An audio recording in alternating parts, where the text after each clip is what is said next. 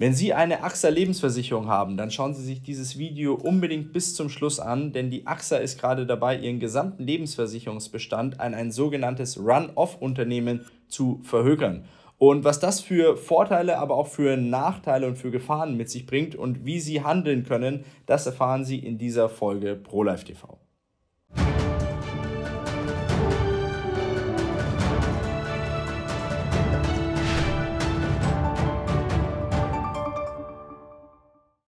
Hallo und herzlich willkommen zu einer neuen Folge ProLife TV. Mein Name ist Felix Früchtel. Ich begrüße Sie live aus Ingolstadt und ähm, heute wieder zu dem Thema Runoff. Ähm, es geht Schlag auf Schlag. Wir haben jetzt gerade eben erst vor wenigen Tagen ein Video gedreht zu dem Runoff der Zurich-Versicherung. Und jetzt vor, vor kurzem, vor ein paar wenigen Tagen, hat dann auch die AXA nachgezogen und hat bekannt gegeben, dass auch sie einen Teil ihrer Versicherungs- Verträge an die Atora, ein weiteres Run-off-Unternehmen, verkaufen möchte. Vielleicht klären wir an dieser Stelle mal ganz kurz die Facts. Es handelt sich um rund 900.000 Verträge, die veräußert werden sollen von der AXA an die Atora. Und diese 900.000 Verträge haben ein ungefähres ähm, Deckungskapital von 15 bis 19 Milliarden Euro die da drin verwaltet werden. Der Kaufpreis soll ungefähr zwischen 610 und 660 Millionen Euro liegen, die die Atora der AXA für diesen Bestand entsprechend zahlt. Es handelt sich um die DBV-Verträge, DBV-Winterhur-Verträge, die 2006 schon von der AXA entsprechend abgekauft worden sind oder übernommen worden sind. Das heißt, die DBV-Winterhur-Verträge, die Sie vielleicht in der Vergangenheit mal abgeschlossen haben, die wurden 2006 von der AXA übernommen. Und jetzt gibt die AXA diese 900.000 Verträge weiter an die Atora, damit die Atora als Run-off-Unternehmen diese Verträge weiter verwaltet. Es ist der drittgrößte Deal ähm, in, in Deutschland, was dieses Thema des Run-offs angeht. Der größte Deal ist ja immer noch von 2019, als die Generali ihre Verträge an die Viridium verkauft hat. Mittlerweile firmieren die Generali-Verträge unter dem Namen der Proxalto. Die Atora ist eine von drei Run-off-Unternehmen. Wir haben hier die Viridium, wir haben die Atora und wir haben die Frankfurt Leben Gruppe. Alle drei Unternehmen sind sogenannte Run-off-Gesellschaften. Ja, was sind Run-off-Unternehmen eigentlich? Run-off-Unternehmen sind ähm, Finanzinvestoren im Endeffekt, die Lebens- und Rentenversicherungsbestände von klassischen Versicherungskonzernen aufkaufen. Die kaufen diese Verträge deswegen an, weil sie mit diesen Beständen, die sie haben, natürlich Gewinn erzielen möchten, die sie dann entsprechend ihren Aktionären ausschütten können. Wie wollen diese Run-off-Unternehmen mit diesen Beständen Gewinne verdienen, wenn auf der anderen Seite die Versicherungskonzerne diese Bestände unbedingt loshaben wollen, weil sie eben nichts mehr damit verdienen? Das Ziel ist, dass Run-off-Unternehmen keinen aktiven Vertrieb mehr machen und dass sie einen deutlich schlankeren Fuß bekommen werden in der Verwaltung, im Vertrieb und in der IT.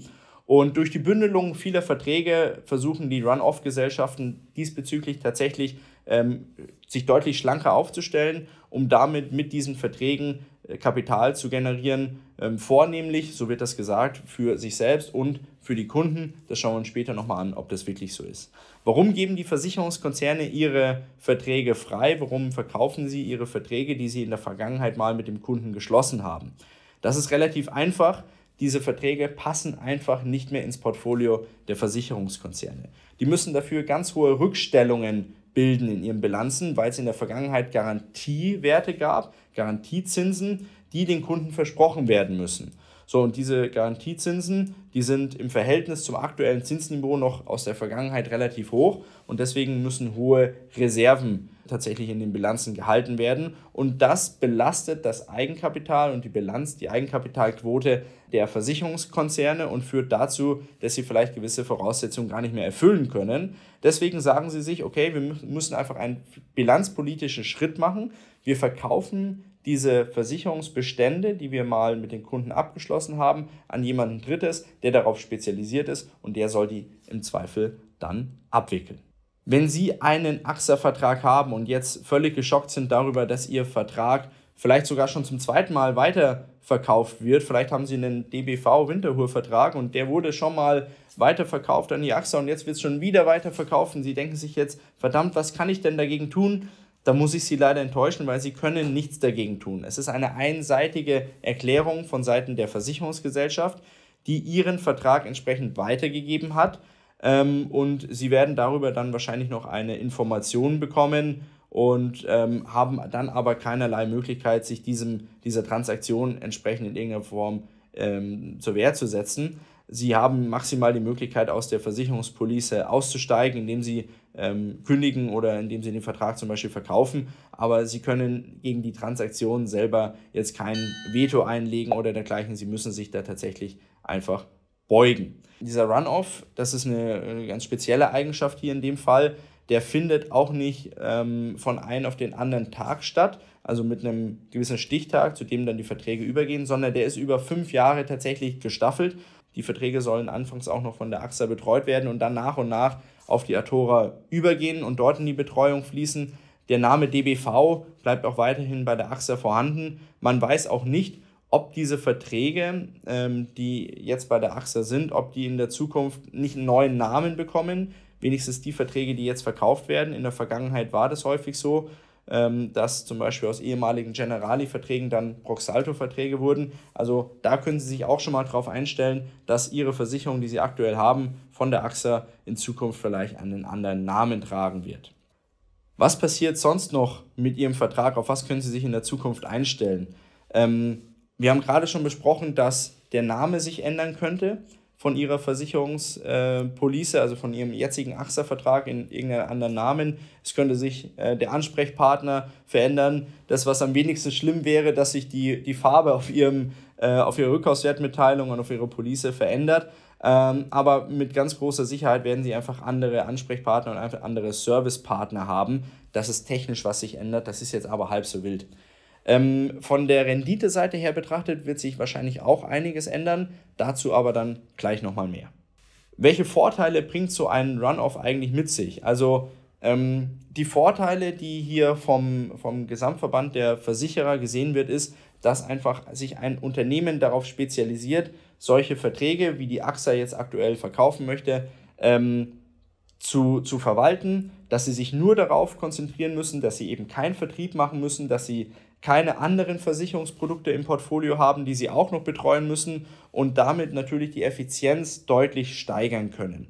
In der Vergangenheit hat es sich auch gezeigt, dass solche Run-off-Unternehmen, also wie gesagt, es gibt ja nur drei in Deutschland, dass die deutlich effizienter gearbeitet haben als der Durchschnitt der Versicherungskonzerne. Ähm, da kommen wir dann jetzt aber auch schon zu dem, zu dem Punkt, den ich auch betrachten muss an der Stelle. Diese Effizienzeinsparung, die führt natürlich dazu, dass die Run-off-Unternehmen prozentual höhere Gewinne machen. Eine Studie zufolge aber ist es auch so, dass diese höheren Gewinne leider nicht beim Kunden ankommen. Und da wären wir bei den negativen Aspekten eines solchen Run-offs. Es werden zwar mehr Gewinne gemacht, von denen werden Sie aber im Zweifel überhaupt nichts haben, sondern eher die Aktionäre dieser Finanzinvestoren. Und ein Thema, das sich immer wieder aus den letzten Jahren tatsächlich und aus unserer Erfahrung her tatsächlich widerspiegeln lässt, der Kundenservice, die Kundenorientierung, die nimmt extrem ab, weil natürlich die Verwaltung auf einen deut deutlich schlankeren Fuß gestellt werden muss. Es sind vielleicht auch nicht mehr die ähm, fachlich spezifischen Berater vorhanden, die ihnen da unter die Arme greifen können. Vielleicht telefonieren sie da auch nur noch mit einem Roboter oder dergleichen. Unserer Erfahrung nach in der Vergangenheit bei Runoffs ähm, dass der Service tatsächlich sehr, sehr schlecht geworden ist. Und das kann man auch auf diversen Bewertungsportalen dann entsprechend nachvollziehen. Ich hoffe, dass ich mit diesem kurzen Video und mit diesen kurzen Einblicken Ihnen einen Mehrwert liefern konnte, dass Sie jetzt Bescheid wissen darüber, was Sie mit Ihrer ähm, AXA-Police machen können oder nicht. Ähm, wichtig ist in dem Moment nicht in Panik verfallen, erstmal schauen, was jetzt da in den nächsten Wochen noch so an Meldungen ähm, äh, ja, publik wird.